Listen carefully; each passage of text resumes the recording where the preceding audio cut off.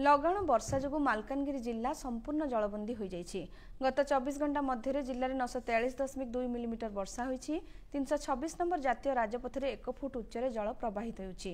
ଫଳରେ ମାଲକାନଗିରିଠାରୁ କାଲିମେଳା ଏମ୍ଭି ଅଣାଅଶୀ ମୋଟୁ ଏବଂ ଜୟପୁରକୁ ଯୋଗାଯୋଗ ବିଚ୍ଛିନ୍ନ ହୋଇଯାଇଛି।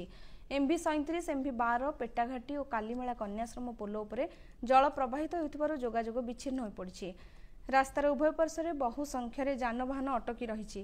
ପୂର୍ବତନ ସାଂସଦ ବଳଭଦ୍ର ମାଝୀ ପୋଟେରୁ ଗସ୍ତ କରି ବନ୍ୟା ପ୍ରଭାବିତ ଲୋକଙ୍କ ସ୍ଥିତି ଅନୁଧ୍ୟାନ କରିଛନ୍ତି। ପାଣିପାଗ